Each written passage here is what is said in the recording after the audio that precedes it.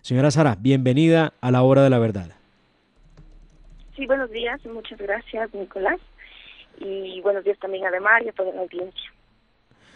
Pues gracias por atendernos a esta hora y queremos preguntarle eh,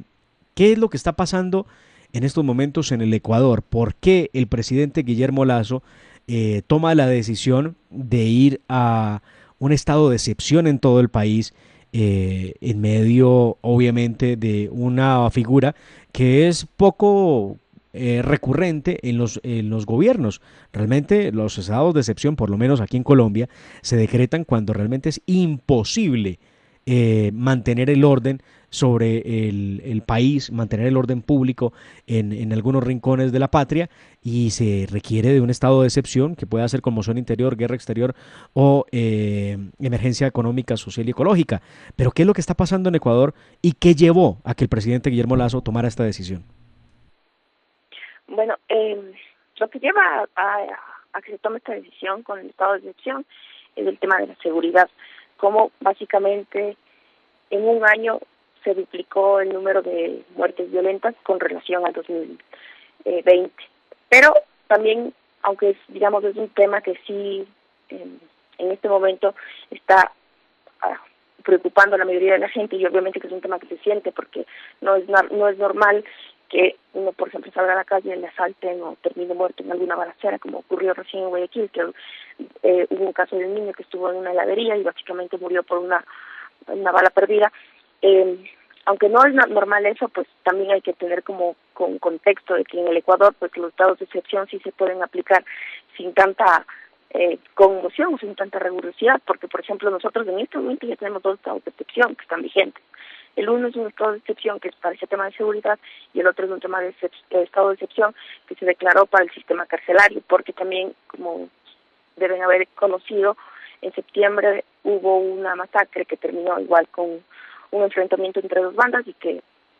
tuvo igual como desenlace pues la muerte de 19 personas presas.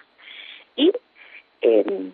a principios de año nosotros tuvimos otro estado de excepción, pero pues se tiene que ver ya más con la emergencia sanitaria. Entonces, básicamente desde el año del año pasado, a partir de la emergencia sanitaria, hemos tenido más de este estados de excepción que están vinculados con emergencias sanitarias o en este, en este último periodo, pues básicamente con el tema de seguridad.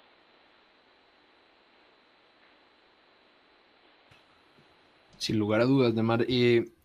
yo quisiera preguntarle, porque tenemos una situación geopolítica en el continente que es compleja. Y Ecuador, pues que es nuestra hermana república en, en, la frontera en Nariño y en Pasto, pues también tiene implicaciones o tiene consecuencias de lo que pase en la narcodictadura. Doctora, yo quisiera preguntarle con los últimos sucesos, el Ecuador, ¿qué espera de que salga eh, de la boca del señor Alex Saab, sobre todo de acuerdo con el señor Rafael Correa y pues otros adeptos que tendrán allá? Sí, lo que pasa es que hay igual, o sea, podemos retomar el pasado y en el Ecuador ya existió una investigación, de hecho existían tres investigaciones. Se abrieron procesos penales y terminaron absolutamente nada porque se fueron diluyendo a lo largo de la historia. Entonces, lo que ahora se espera, en, en, el caso, por ejemplo, de la Comisión de Fiscalización de la Asamblea Nacional, que ya es la que se ha movido un poco más, es que estos juicios tengan nueva información en que reactiven los casos que ya han estado aquí abiertos, porque la Fiscalía en un momento hizo un intento de investigación, o sea, adelantaron procedimientos, se hizo pericias, se tomaron versiones, se recolectaron datos, porque obviamente parte de la trama de, de Alexa tiene que ver con esta mm, con este sistema de operaciones a través del sistema Sucre, que es básicamente cómo se lavó dinero y la teoría y lo que se confirmó, mejor dicho, aquí en el Ecuador, es que de esos 350 millones que dice Estados Unidos que lavaron eh, que lavó el testaferro de Nicolás Maduro, bueno, fueron 150 millones aquí en el Ecuador. Entonces, esa parte, pues, es la parte, la segunda parte de la historia que se puede contar. Obviamente, yo digo, lo primero que se ha movido, que ya fue ayer, y que metió ya los primeros, o sea, en, en, mandó las primeras cartas a la Fiscalía eh, pidiendo que se que se soliciten estas pruebas de Estados Unidos, pues la Comisión de Fiscalización de la Asamblea que está, bueno, presidida también por un periodista que estuvo atrás de estas investigaciones cuando, cuando no era legislador.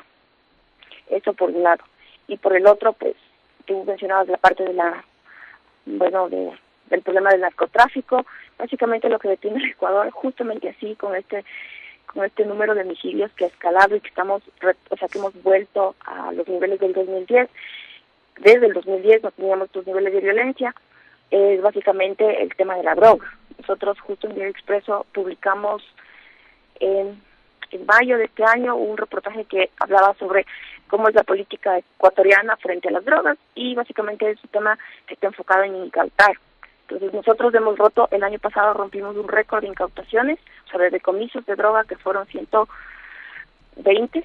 128 me parece, y este año hemos roto ya el, otra vez el, el récord histórico de incautaciones porque nunca se ha incautado tanta cantidad de droga en el país y en este momento ya estamos en 136 toneladas.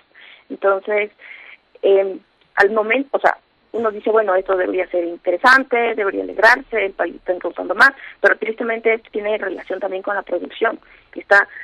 sabemos del lado colombiano, que ustedes también han mejorado, digamos, en el lado colombiano también se han mejorado los niveles de producción, aunque no necesariamente se han aumentado los, la cantidad de cultivos. Pero por el reporte de la ONU, obviamente se alerta de esto y esto está en esta correlación. Y tristemente también no está en correlación con un sistema, por ejemplo, de detención de los cabecillas, porque nosotros publicamos que si bien se han incautado más droga en los últimos años y hemos roto los récords, no hay cabecillas, no hay cabecillas detenidos, y que desde el 2017 que cayó Arias Gerald, gracias igual al apoyo de Colombia, porque básicamente así se logró, eh, no ha caído nadie más. Entonces no hay cabecillas presos y por aquí pasa toda la cantidad de droga posible y mientras no hay cabecillos, no, o sea, mientras no hay cabecillas presos, hay incautaciones de 9 toneladas de droga, 2 toneladas de droga, 5 toneladas de droga en un solo en un solo una sola captura, ¿no? Pero cuando ve uno bien los registros, pues resulta que los que están presos son los que cuidaban, el transportista o no sé, alguien que está, por ejemplo, a cargo del acopio. Se encuentran armas, se encuentran se encuentra igual una gran cantidad de dinero, pero los dueños de eso de esas sustancias no están presos. Y eso es lo que otra de las razones por las que el Ecuador está así. ¿Usted tiene de casualidad eh, a la mano, señora Sara, el, la cantidad de hectáreas de coca sembradas hoy en el Ecuador? No, no tengo a la mano, pero nosotros nunca hemos tenido una, o sea, una, o históricamente nunca ha sido un, la siembra un tema de un problema real, porque básicamente pues los cultivos siempre van como en la, en la misma proporción cada año. Tristemente ahorita, ahorita no tengo los datos. Recuerdo que en la última eh, comparecencia que hizo el ministro de Defensa y igual la policía en la asamblea, que fue como hace 15 días, ellos el dato que dijeron es que básicamente es como en la misma proporción histórica, o sea, no ha variado. Pues es que el problema, vea usted, eh, para que haga una, un, un símil, eh, usted habla de más de eh, 100 toneladas de coca eh, al año en el Ecuador y en Colombia nosotros tenemos que registrar la horrible y vergonzosa cifra de más de 1.100 toneladas métricas de coca al año. Y obviamente 245 mil hectáreas de coca, que entre otras cosas, y valga decirlo, están sembradas en gran parte en esa zona de frontera que tenemos común con eh, su país y que sabemos ha servido de alimento para estructuras criminales y terroristas como las de las FARC. Recuerda usted que precisamente fue eh, en, en, el límite con el Ecuador cuando Colombia dio de baja al terrorista de las FARC, alias Raúl Reyes. Y es que el problema de la seguridad para la región completamente tiene que ver con eh, los cultivos del narcotráfico que alimentan esas estructuras criminales. Pero ahora mismo el presidente Guillermo Lazo eh, lanza esta medida extraordinaria que tiene un presidente en su constitución para poder conjurar el orden público y para poder restablecer el orden, eh, en momentos en que se le acusa y se le señala de, de estar metido entre el tema de los papeles de Pandora o los Pandora Papers. Eh, ¿Qué pasa? Porque él se, inclusive se dice que se ha negado a asistir eh, ante la Asamblea Nacional para poder declarar sobre esa investigación. Uh. Si bien en, este, en esta investigación periodística lo que dice el presidente es que la información que ha salido es la información que él ha entregado también al Tribunal Contencioso Electoral en el momento en que escribió su candidatura. O sea, básicamente los mismos argumentos que tendría la investigación periodística serían argumentos que ya fueron eh, revisados en una instancia judicial en ese momento de la inscripción de la candidatura, porque en el Ecuador eh, no se puede, una persona que va a ser elegida democráticamente, pues no puede tener empresas o acciones en paraísos fiscales. Pero, obviamente, por otro lado, pues la investigación Pandora sí revela otras offshore, otras empresas que son las parte de esta sociedad que, le pertenece al presidente, que estas aparentemente no habrían sido declaradas. Entonces, básicamente ese es la es, el punto, ¿no? Que se quiere investigar. Y por otro lado, pues, eh, en un momento, el que tenía que hacer esta investigación fue la Comisión de Fiscalización de la Asamblea, la encargada generalmente de las investigaciones. Y fue también una decisión de ciento, me parece son 117 117 de 137 asambleístas, o sea, una mayoría bastante grande la que decidió que la Comisión de Fiscalización no tenga el, el caso y le entregaron a otra comisión que está obviamente pues presidida por, bueno, no tiene ningún representante de ningún legislador del gobierno, básicamente está presidida por la oposición o más del, me parece que son más del 90% son de la oposición y hay un legislador independiente y hay otro que bueno también o sea, dos independientes que básicamente serían como los que podrían poner un poco la balanza. Frente a eso, que el gobierno cree que, bueno, es como una especie de... Eh, que, que, le pueden básicamente utilizar como una herramienta, primero para, para sacar información que tristemente la comisión no ha podido recuperar, porque la comisión no tiene los accesos pues para poder ingresar, por ejemplo, al, al contenido o revisar los documentos que tienen los periodistas que participan de este Consorcio Internacional de Periodismo. Entonces, al no poder tener ese acceso, lo que ha hecho esta comisión es consultar a analistas, politólogos y básicamente como opiniones para poder armar un caso en donde se supone que el presidente pues, no va a salir como como una persona que no tiene ética o que básicamente ha defraudado, ha, defraudado al, al fisco. Eh, y frente a esto el gobierno se, nega, se ha negado. Por un lado, ellos creen que básicamente no tiene, o sea, el argumento legal que da el presidente Lazo es que el que tiene que hacer esta investigación es la Contraloría y que obviamente pues esta investigación ya estuvo en una instancia judicial y se resolvió. Eh, por otro lado, la comisión lo que dice es que ellos, él tiene que comparecer como una porque es funcionario público y porque es su obligación rendir este tipo de cuentas. No sabemos qué va a pasar, básicamente ayer les dejó plantados y ellos nuevamente volvieron a convocarlo para el viernes a las en la mañana en esta convocatoria dijo que es obligatoria, pero pues no sabemos si el presidente no va a asistir, parece que no, porque obviamente pues a los que también convocaron eh, la primera vez fueron a su esposa y a sus hijos, que ellos no están obligados legalmente a hacerlo. Ya. Doctora Sara, yo tengo una pregunta porque pues suena algo extraño que el presidente tenga que someterse, digamos, a una comisión, como usted nos está explicando, eh, que pues formada en una amplia mayoría por la oposición. Esto podría causar una verdadera posibilidad de que el presidente Lazo esté en problemas, o sea, en reales problemas de quedar eh, destituido o quedar inhabilitado. Lo que dice la Constitución eh, sobre la destitución del presidente es que se requiere que haya conmoción social. Entonces, en algún momento ellos en la Asamblea, a través de un comunicado, pues dijeron que el caso de Pandora Papers y el caso de que el presidente esté mencionado ahí con una posible evasión tributaria, genera conmoción social. Y este juego de palabras, pues básicamente, y como se puede entender, esta interpretación que se puede hacer de qué es conmoción social, pues abre una puerta, sí, para, para un proceso de, de intentar sacar al presidente o al menos, no sé, intentar como buscar esa vía pero también hay otros mecanismos, o sea, se tienen que cumplir otros mecanismos, se necesita, por ejemplo, que también la Contraloría emita un informe donde diga que sí, que el presidente estuvo, eh,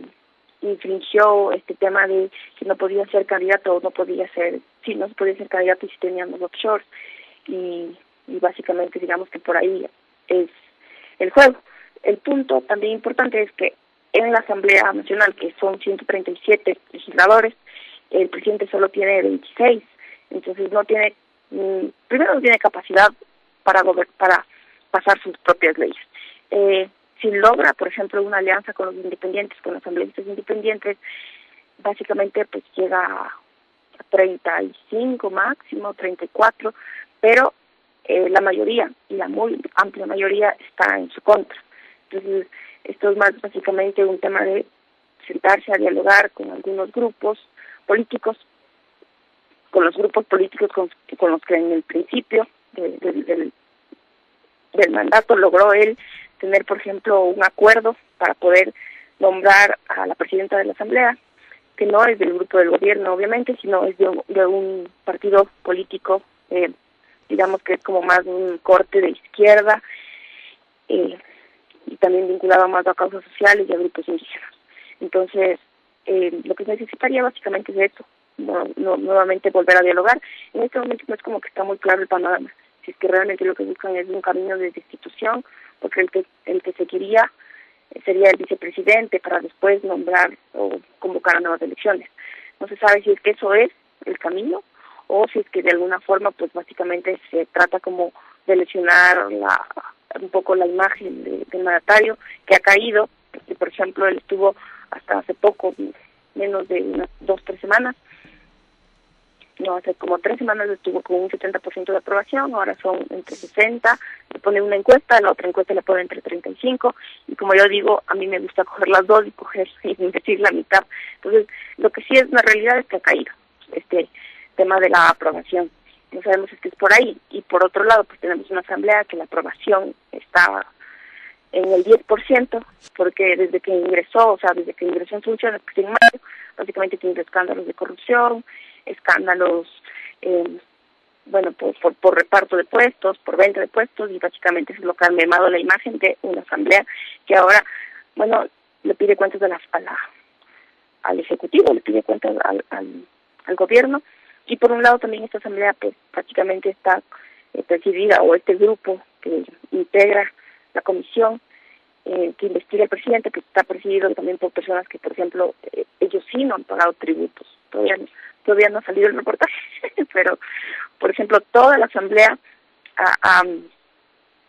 ha, pagado el año pasado eh, o ha aportado un poco a la renta estatal en 139 mil millones de dólares y hay 71 asambleístas que no han cancelado absolutamente nada. Entonces, más del 51% de asambleístas que todavía no han arreglado sus problemas con eh, el sistema de rentas internas que es aquí en Ecuador. Entonces, básicamente ese es el panorama. Yo en ese momento, bueno, no puedo tener todavía una bola de cristal para saber qué es lo que va a pasar, pero ese es el escenario en el que se mueven estas dos fuerzas políticas, que sería la, el presidente y también la Asamblea. Pues doña Sara Ortiz, muchísimas gracias por habernos atendido en la hora de la verdad. Le deseamos un feliz día. Muchas gracias, igual. Gracias por la invitación. Que tengan buen día. Era Sara Ortiz, periodista ecuatoriana y reportera de seguridad del diario Expreso Quito, hablando de la situación política del país con el doctor y presidente Guillermo Lazo, quien ha decidido decretar un estado de excepción en medio de una ola de inseguridad creciente y además en medio de escándalos donde se le señala de estar eh, incluido entre los famosos Pandora Papers. Avanzamos, escuchan ustedes la hora de la verdad.